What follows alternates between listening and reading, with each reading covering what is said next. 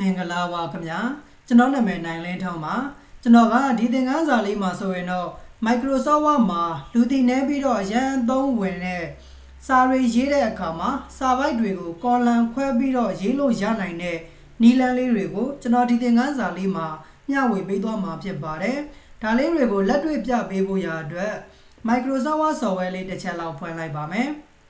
Microsoft Word software ပွင့်လာပြီဆိုရင်တော့ကျွန်တော်ဒီရဲ့သင်ခန်းစာလေးမှာနမူနာပြပေးဖို့ရာအတွက်ကြိုပြီးတော့မှရေးထားခဲ့တဲ့စာဖိုင်လေးကိုတစ်ချက်လောက်ဖွင့်လိုက်ပါမယ်။အောင်တီးတော်ဖွင့်ပလင်မြင့်တို့ပင်းလျှောက်လွာဆိုတဲ့ဒီရဲ့ Microsoft Word နဲ့ရေးထားခဲ့တဲ့စာဖိုင်လေးကိုကလစ်တစ်ချက်နှိပ်ပြီးတော့မှဖွင့်လိုက်ပါမယ်။အခုလက်ရှိကျွန်တော်ဒီမှာရေးထားခဲ့လိုက်တဲ့စာလေးတွေက Microsoft Word မှာပုံမှန်အတိုင်းပဲဟာ line center လေးတွေချိန်ပြီးတော့ရေးခဲ့တဲ့ line လက်လေးတွေချိန်ပြီးတော့ ပုံမှန်အတိုင်းကျွန်တော်စာရေးထားခဲ့တဲ့အဲဒီစာဖိုင်လေးဖြစ်ပါတယ်ဒါအောင်မှကျွန်တော်တို့လိုချင်တာကစာဖိုင်လေးတွေမှာမတူညီတဲ့ column လေးတွေခွဲပြီးတော့ကျွန်တော်တို့စာတွေရိုက်ချင်တာဖြစ်ပါတယ်အခုလောလောဆယ်ကျွန်တော်တို့ဒီမှာရေးထားခဲ့တဲ့စာလေးတွေကဒီပုံစံတိုင်းရှိတယ်ဒါအောင်မှကျွန်တော်တို့ကဒီရဲ့ပထမဆုံးစာပိုင်လေးကိုတော့ column နှစ်ခုအနေနဲ့ဟိုဘက်တစ်ချမ်းဒီဘက်တစ်ချမ်းခွဲပြီးတော့ရေးချင်တယ်နောက်ထပ်ဒုတိယစာပိုင်လေးကိုတော့ကျွန်တော်တို့က column ကို3ခုလောက်ခွဲပြီးတော့ရေးချင်ပါတယ် နောက်ဆုံးစာပိုင်လေးကိုတော့ပုံမှန်အတိုင်းပဲ column တစ်ခုတည်းအနေနဲ့ဒီပုံစံတိုင်းလေးပဲကျွန်တော်တို့ရေးချင်တယ်ပေါ့နော်ဒါဆိုရင်ကျွန်တော်တို့ဘယ်လိုမျိုးရေးလို့ရလဲဆိုတော့နီလန်လေးတွေကိုဒီသင်ခန်းစာလေးမှာကျွန်တော်ရှင်းပြပေးမှာဖြစ်ပါတယ်အခုလက်ရှိဒီမှာကျွန်တော်တို့ကစာရွက်ထဲမှာ column တစ်ခုတည်းအနေနဲ့ရေးထားခဲ့တဲ့အတွက်ဒီပုံစံတိုင်းကျွန်တော်တို့မြင်တွေ့နေရတာဖြစ်ပါတယ်ဒါအုံမှကျွန်တော်တို့က column လေးတွေခွဲကြည့်လိုက်မယ်ဆိုရင်လေးယောက်ထဲကနေပြီးတော့ column ဆိုတဲ့နေရာမှာ1ဆိုတာလေးဖြစ်နေလိမ့်ပါလိမ့်မယ် 1ဆိုတာကတော့ column တစ်ခုကိုကျွန်တော်တို့ပြောတာဖြစ်ပါတယ်တကယ်လို့တော့ဒီနေရာမှာကျွန်တော်တို့က column နှစ်ပိုင်းရေးချင်တာဖြစ်တဲ့အတွက်2ကိုရွေးလိုက်တယ်ဆိုရင်ကျွန်တော်တို့ရေးထားခဲ့တဲ့စာတွေအားလုံးကနှစ်ချမ်းဟိုဘက်ဒီဘက်ကွဲသွားတာကိုတွေ့ရပါလိမ့်မယ်ဒီထဲကနေပြီးတော့မှကျွန်တော်တို့က3ကိုရွေးလိုက်တယ်ဆိုရင်တော့ column လေးတွေ3ပိုင်းသူ့လိုလိုပိုင်းသွားတာကိုတွေ့ရပါလိမ့်မယ်ဒီတော့ကျွန်တော်တို့လိုချင်တဲ့ပုံစံလေးမရနေသေးဘူးပေါ့နော်ဒါကြောင့်ကျွန်တော်ဒီကနေပြီးတော့မှပုံမှန်အတိုင်း1ဆိုတာလေးကိုပဲပြန်ထားလိုက်ပါမယ် ကျွန်တော်တို့လိုချင်တာကဒီစာတွေအကုန်လုံးကိုအာနှစ်ပိုင်းပိုင်းကျင်တာမဟုတ်ဘူးသုံးပိုင်းပိုင်းကျင်တာမဟုတ်ဘူးပထမဆုံးစာပိုင်းလေးတစ်ခုကိုပဲကျွန်တော်တို့ကနှစ်ပိုင်းပိုင်းကျင်တယ်ဒုတိယစာပိုက်ကိုတော့သုံးပိုင်းပိုင်းကျင်တယ်တတိယစာပိုက်ကိုတော့ပုံမှန်တိုင်းလေးပဲထားခဲ့ကျင်တာဖြစ်တဲ့အတွက်အရင်ဆုံးကိုပိုင်းကျင်တဲ့စာပိုက်လေးတွေကိုအရင်ဆုံးဆက်လက်လေးမှတ်ပေးထားဖို့လိုပါတယ်ဆက်လက်မှတ်ပြီးသွားပြီဆိုမှ၄ယောက်ထဲကနေပြီးတော့ column ဆိုတဲ့နေရာမှာကိုကနှစ်ပိုင်းပိုင်းကျင်တယ်ဆိုရင်2ကိုရွေးလိုက် ဒါဆိုရင်ဒီမှာ column လေးကကိုဆက်လက်ပေးထားတဲ့အပိုင်းလေးတွေကိုပဲ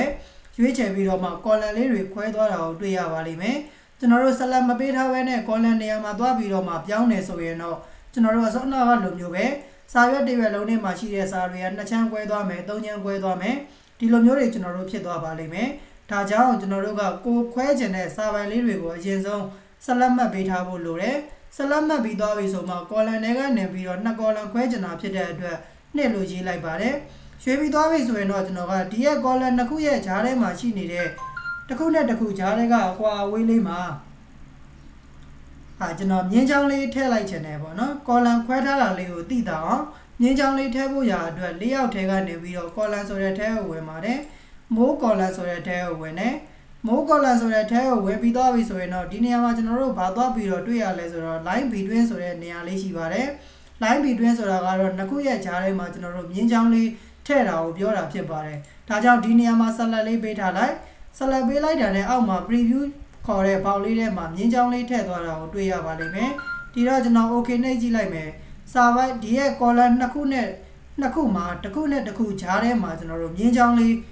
ပိုင်းပေးသွားတာကိုကျွန်တော်တို့တွေ့ရပါလိမ့်မယ်ဒီရဲ့ column နှစ်ခုခွဲထားတဲ့တစ်ခုနဲ့တစ်ခုကြားထဲကအကွာအဝေးလေးကိုကျွန်တော်တို့ပြင်ကျင်နေဆိုရင်တော့ လေးယောက်ထဲကနေပြီးတော့မှမိုး column ဆိုတဲ့ထဲကိုဝင်ပါတယ်ဒီထဲမှာကျွန်တော်တို့ spacing ဆိုတဲ့နေရာလေးရှိပါတယ်ဒီရဲ့ spacing ဆိုတဲ့နေရာလေးကတော့ကျွန်တော်တို့ column တစ်ခုနဲ့တစ်ခုရဲ့ဂျားတွေကအကွာအဝေးလေးကိုပြောတာဖြစ်ပါတယ်ကျွန်တော်တို့ဒီနေရာမှာကျွန်တော်တို့ column လေးတွေကကျဲနေလားဒါဆိုရင်ဒီရဲ့နေရာလေးမှာကျွန်တော်တို့အတိုး shot လုပ်လိုက်မယ်ပေါ့0.3လောက်ထားလိုက်ပါမယ် okay နှိပ်ကြည့်လိုက်မယ်ဒါဆိုရင်ကျွန်တော်တို့ဒီမှာ column လေးကတစ်ခုနဲ့တစ်ခုအကွာအဝေးလေးကအချုံအချက်လေးတွေလှုပ်ပေးသွားတာကိုတွေ့ရပါလိမ့်မယ် ဒီတော့မှကျွန်တော်တို့ဒီရဲ့ server လေးတွေမှာဘယ်ညာလေးတွေနှစ်ဖက်ညီအောင်ညှိကျင်တယ်ဆိုရင်လည်း home tab ထဲကနေပြီးတော့ paragraph group တွေမှာကျွန်တော်တို့ဘယ်ညာညီတဲ့ဟာလေးကိုကျွန်တော်တို့ရွေးလိုက်တယ်ဆိုရင်တော့စာလေးတွေကသူ့လိုလိုဘယ်ညာလေးတွေညီပေးသွားတာကိုတွေ့ရပါလိမ့်မယ်ဒါဆိုအားလုံးနားလည်လောက်မယ်လို့ထင်တယ်ပြီးရင်နောက်ထပ်တစ်ခုဒုတိယစာပိုင်လေးကိုတော့ကျွန်တော်ကကောလန်လေးတွေကို၃ပိုင်းပိုင်းချင်တာဖြစ်တဲ့အတွက်ကို၃ပိုင်းပိုင်းချင်တဲ့စာတွေကိုအရင်ဆုံးဆက်လက်မှတ်ပေးထားမယ်ပြီးရင်တော့၄ရောက်ဆိုတဲ့တက်ထဲကိုသွားပြီးတော့ကောလန်ထဲကိုသွားမယ် ၃ပိုင်းပိုင်းချင်တာဖြစ်တဲ့အတွက်3ကိုရွေးလိုက်တယ်ဆိုရင်ဒီမှာကျွန်တော်တို့စာလေးတွေကသူ့လိုလို၃ကောလန်ခွဲပေးသွားတာကိုတွေ့ရပါလိမ့်မယ်ဒီလိုမျိုးလေးဖြစ်သွားပြီဆိုမှဒီရဲ့ကောလန်လေးတွေရဲ့ဂျားထဲမှာမြင်းချောင်းလေးတွေထပ်ပြီးတော့ထည့်ချင်တာဖြစ်တဲ့အတွက်ကော်လန်ထဲကနေပြီးတော့မိုးကော်လန်ဆိုတဲ့ထဲကိုဝင်ပါတယ် line between ဆိုတဲ့နေရာမှာအမှန်ချစ်လေးထည့်ပြီးတော့ okay နေလိုက်ပါမယ်ဒါဆိုရင်တော့ကျွန်တော်တို့တိတာတင်ရှားသွားပြီဖြစ်ပါတယ် သူ့ဟိုမှာကျွန်တော်တို့စာတွေကိုဘယ်ညာညီအောင်ပြန်ညှိကျင်ပါတယ် home tab ထဲကနေပြီးတော့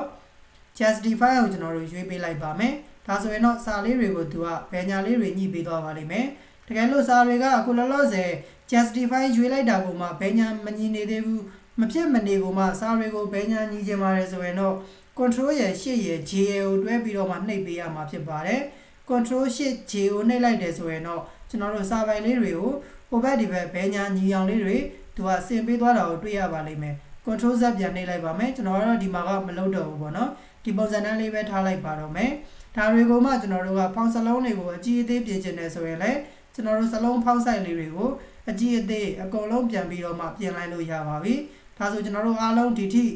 နားလည်လောက်မယ်လို့ထင်တယ်အခုလက်ရှိကျွန်တော်လုပ်ပြလိုက်တာက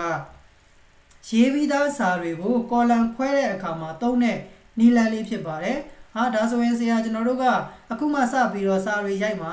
စာတွေရေးရင်တက်လန်းနဲ့ကိုကျွန်တော်တို့အခုလိုမျိုးကောလမ်တွေကိုခွဲပြီးတော့ရေးလို့ရလားဆိုရင်ရေးလို့ရပါတယ်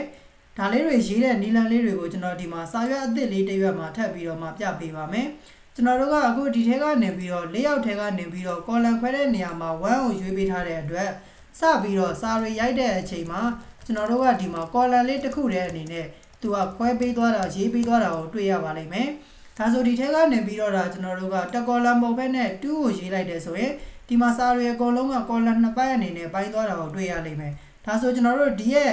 ကိုကစပြီးတော့မှစာရီရိုက်တဲ့အချိန်မှာရော column တစ် column အနေနဲ့ရေးမယ်နှစ် column အနေနဲ့ခွဲပြီးတော့ရေးကျင်တယ်ဆိုရင်တော့ရေးလို့ရတဲ့နည်းလမ်းလေးရှိပါတယ်။အခုလောလောဆယ်ကျွန်တော်ဒီမှာစာပိုင်လေးကို column တစ်ခုတည်းအနေနဲ့ရေးခဲ့လိုက်တယ်ပြီးပြီဆိုရင်တော့ကျွန်တော် enter လေးခောက်လိုက်ပါမယ် လက်ရှိကာစာရောက်နေတဲ့နေရာကနေပြီးတော့အောက်ကိုတော့ကျွန်တော်က column လေးနှစ်ပိုင်းရေးချင်တာဖြစ်တဲ့အတွက်ကျွန်တော်တို့ဘာလုပ်ပေးရလဲဆိုတော့ page break လေးလုပ်ပေးရပါတယ်ဒီတော့ကျွန်တော်တို့၄ရောက်ထဲကနေပြီးတော့ break ဆိုတဲ့ထဲကိုဝင်နေဒီနေရာလေးမှာကျွန်တော်တို့က continuous ဆိုတာလေးကိုကျွန်တော်တို့နှိပ်ပေးထားရမှာဖြစ်ပါတယ်ဒီလိုမျိုးကျွန်တော်တို့က continuous ဆိုတာလေးကိုနှိပ်ပြီးသွားပြီဆိုမှ column ထဲကနေပြီးတော့တကော်လန်ရေးမလားနှစ်ကော်လန်ရေးမလားသုံးကော်လန်ရေးမလားကိုကြိုက်နေတဲ့ကော်လန်လေးတွေပြောင်းပြီးတော့အသုံးပြုလို့ရမှာဖြစ်ပါတယ် အခုကျွန်တော်ကတော့ဒီမှာ break ထဲကနေပြီးတော့ continuous ဆိုတာလေးနှိပ်လိုက်တယ်ဘာကြောင့်လဲဆိုရင်တော့လက်ရှိကာစာရောက်နေတဲ့နောက်မှာရေးတဲ့စာတွေကိုနှစ်ကော်လန်လောက်ချင်တာဖြစ်တဲ့အတွက် continuous ကိုလုပ်ပြီးသွားပြီဆိုရင် column တွေကနေပြီးတော့2ကိုရွေးလိုက်ပါတယ်ပြီးရင်တော့ကျွန်တော်ဒီမှာစာလေးတွေရိုက်ကြည့်လိုက်မယ်သူကကျွန်တော်တို့စာတွေကိုတစ်ပိုင်းနဲ့အနေနဲ့ရေးပြတာကိုတွေ့ရပါလိမ့်မယ်။ဘာကြောင့်လဲဆိုရင်တော့ကျွန်တော်တို့ကနှစ်ကော်လန်အနေနဲ့ထားခဲ့ထားလို့ဖြစ်ပါတယ်။ဒါဆိုကျွန်တော် enter ခောက်လိုက်ပါမယ်။ enter ခောက်ပြီးသွားပြီဆိုတာနဲ့တပြိုင်နက် break ထဲကနေပြီးတော့ continuous ဆိုတာလေးကိုကျွန်တော်တို့ဖြတ်ဆက်ပြီးတော့မှနှိပ်ပေးလိုက်တယ်ဆိုရင်ဒီမှာကျွန်တော်တို့ရေးလိုက်တဲ့စာလေးတွေကသူ့လိုလို column နှစ်ခုအနေနဲ့ပိုင်းပေးသွားတာကိုကျွန်တော်တို့တွေ့ရပါလိမ့်မယ်။ဒါဆိုဒီရဲ့နောက်မှာရှိနေတဲ့စာတွေကိုတော့ column 3ပိုင်းအနေနဲ့ထပ်ပြီးတော့ရိုက်ချင်တယ်ဆိုရတယ်။ break ထဲကနေပြီးတော့ continuous ဆိုတာလေးကိုနှိပ်မယ်။ column ထဲကနေပြီးတော့3ကိုကျွန်တော်တို့ရွေးပြီးတော့မှ column လေး3ပိုင်းပိုင်းမှာဖြစ်တဲ့အတွက်3ကိုကျွန်တော်ရွေးလိုက်ပါတယ် ပြီးရင်တော့ဒီမှာစာလေးတွေဆက်ပြီးတော့မှကိုရေးချင်တဲ့စာတွေရိုက်လိုက်ပေါ့ပြီးပြီဆို enter လေးခောက်ပါမယ်ဒီမှာ column လေး3ပိုင်းကမပိုင်းသေးဘူးဖြစ်နေပါတယ်ဒါဆိုကျွန်တော် break ထဲကနေပြီးတော့မှ continuous ဆိုတာလေးကိုနှိပ်လိုက်တာနဲ့တပြိုင်နက်ဒီမှာကျွန်တော်တို့စာလေးတွေက3 column အနေနဲ့ပိုင်းပေးသွားတာကိုတွေ့ရပါလိမ့်မယ်ဒီထိအားလုံးနားလည်လောက်မယ်လို့ထင်တယ်လက်ရှိကာစာရောက်နေတဲ့နေရာကနေပြီးတော့နောက်ကိုတော့ကျွန်တော်တို့က column လေးတစ်ခုတည်းအနေနဲ့ပြန်ရေးချင်တာဖြစ်တဲ့အတွက် column ထဲကနေပြီးတော့1ဆိုတာလေးကိုပြန်ရွေးထားလိုက်ဒီမှာကျွန်တော်တို့စာရီအားလုံးကိုရေးလိုက်တယ်ဆိုရင်တော့ပုံမှန်အတိုင်းစာတွေကို divide ထဲအနေနဲ့ရေးပေးသွားတာကိုတွေ့ရပါလိမ့်မယ်ဒါကတော့ကျွန်တော်တို့ Microsoft Word မှာစာရီရေးတဲ့အခါမှာစာပိုက်တွေကို column ခွဲပြီးတော့ရေးလို့ရနိုင်တဲ့နည်းလမ်းလေးတွေဖြစ်ပါတယ်ဒီရဲ့သင်ခန်းစာလေးကလက်တွေ့လုပ်ငန်းခွင်မှာလည်းအရင်အသုံးဝင်မဲ့သင်ခန်းစာလေးတစ်ခုဖြစ်တယ်တော်တော်များများလည်းမသိကြသေးတာဖြစ်တဲ့အတွက် အားလုံးလည်းဘုသူတ္တလေးတွေရအောင်ကျွန်တော်ဒီသင်ခန်းစာလေးမှာသင်ပြပေးလိုက်တာဖြစ်ပါတယ်အခုလိုမျိုးကျွန်တော်တို့ကိုရေးထားတဲ့စာတွေကိုစာပိုက်တွေကိုဆက်လက်မှတ်ပြီးတော့ column လေးတွေခွဲလို့ရတယ်လို့အခုမှစပြီးတော့ရေးတဲ့အခါမှာလည်း column လေးတွေတန်းပြီးတော့မှခွဲလို့ရမှာဖြစ်ပါတယ်အားလုံးနားလည်လောက်မယ်လို့ထင်တယ်ဒီရဲ့သင်ခန်းစာလေးကိုကိုကိုယ်တိုင်လက်တွေ့လိုက်ပြီးတော့မှလေ့ကျင့်ကြည့်ပေးလို့ရပါတယ်အကယ်၍ကိုကိုယ်တိုင်လေ့ကျင့်တဲ့အခါမှာမရတဲ့နေရာလေးတွေရှိတယ်ကျွန်တော်သင်ပေးတာနားမလည်လိုက်တဲ့နေရာလေးတွေရှိတယ်ဆိုရင်တော့ ကျွန်တော်ပြန်ပြီးတော့မှမေးမြန်းပေးလို့ရပါတယ်အကယ်၍ကိုကိုယ်တိုင်လေ့ကျင့်ပြီးသွားပြီကိုလည်းအမှန်တကယ် Microsoft Word မှာစာစီစာရေးလုပ်ရင်းနဲ့ column လေးတွေခွဲပြီးတော့မှရေးတဲ့နေပါပြီဆိုရင်တော့ဒီသင်ခန်းစာရဲ့ comment လေးမှာ DONE done ဆိုပြီးတော့ရေးခဲ့ပေးပါအောင်ခင်ဗျာဒါမှကျွန်တော်သင်တဲ့သင်ခန်းစာလေးတွေကိုဘယ်သူတွေကတော့အမှန်တကယ်လိုက်ပြီးတော့လေ့ကျင့်နေပါတယ်လေ့လာနေပါတယ်ဆိုတာလေးတွေကိုကျွန်တော်ကိုယ်တိုင်လည်းသိရအောင်လို့ပါအခုဒါဆိုရင်တော့ကျွန်တော်ဒီသင်ခန်းစာလေးကိုဒီမှာပဲ ရှင်းနာလိုက်ပါမယ်အားလုံးအဆင်ပြေကြပါစေခင်ဗျာ